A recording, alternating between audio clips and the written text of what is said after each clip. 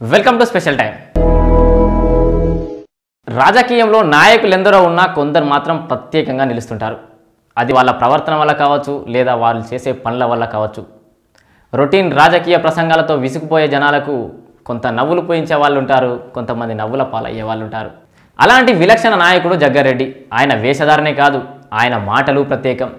ప్రత్యర్థులపై చురుకలంటించడం విమర్శించడంలో ఆయనకు ఆయనే సాటి. అంతటితో ఆగిపోరాయన. ఒకవేళ ఆయన విసిరిన సవాల్లో ఆయన ఓడిపోతే రెండో ఆలోచన లేకుండా అంగీకరిస్తారు. మళ్ళీ ప్రత్యర్థులకి అభినందనలు తెలుపుతారు.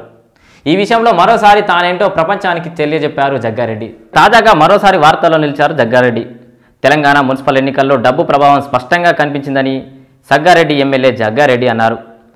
సంగారెడ్డిలో తాము ఓడిపోవడమే మంచిదైందని ఒకవేళ గెలిస్తే తాము మున్సిపల్ చైర్మన్గా పని చేయలేకపోయే వాళ్ళమన్నారు. ఆదివారం జగ్గారెడ్డి గాంధీ భవన్లో మీడియాతో మాట్లాడుతూ డబ్బులతో ఎన్నికలను గెలవచ్చనే కొత్త తరహా విధానాన్ని టీఆర్ఎస్ తీసుకొచ్చిందని ధ్వజమెత్తారు. కాంగ్రెస్ వద్ద డబ్బు లేదని ప్రజలు ఆధారాభిమానాలు మాత్రమే ఉన్నాయని జగ్గారెడ్డి తెలిపారు. ఇక మున్సిపల్ ఎన్నికల్లో టీఆర్ఎస్కు కాంగ్రెస్ గట్టి పోటీ ఇచ్చిందని మున్సిపల్ ఎన్నికల్లో అభివృద్ధి అనే చర్చే రాలేదని కేవలం డబ్బు ప్రభావం ఉందని జగ్గారెడ్డి వ్యాఖ్యానించారు. అధికార పార్టీకి ఎందుకు అవకాశం ఉంటది అంటే అధికార పార్టీ దగ్గర డబ్బు ఉంటది పోలీసు యంత్రాంగము ఉంటది అధికార వ్యవస్థ ఉంటది. ఈసారి ఎన్నిక ఏంటంటే వాస్తవాన్ని కూడా డబ్బు ప్రభావం బాగా చూపించింది అధికార పార్టీ దగ్గర డబ్బు ఉండడం సహజమే ప్రతిపక్షం దగ్గర డబ్బు లేకపోవడము సహజమే. కానీ మా దగ్గర డబ్బు లేకపోయినా మా దగ్గర ప్రజా ఆదరణ కాంగ్రెస్ పార్టీకి ఉన్నది. అయితే ఇక నా భార్య ఓటమి మంచిదే అని ఎప్పుడు నేను హీరోనే అన్నారు. కాంగ్రెస్ పార్టీ గెలిచినా ఓడినా ఎప్పుడు హీరోనే అని జగ్గారెడ్డి అన్నారు. మున్సిపల్ ఎన్నికల్లో ఓడినంత మాత్రాన రాష్ట్ర కాంగ్రెస్ పార్టీ ప్రక్షాళన చేయాల్సిన అవసరం లేదని అన్నారు. తన భార్య మున్సిపల్ చైర్పర్సన్ కాకపోవడమే మంచిదైందని ఓటర్లు తన మీద ఎలాంటి ఒత్తిడి లేకుండా చేశారని తెలిపారు.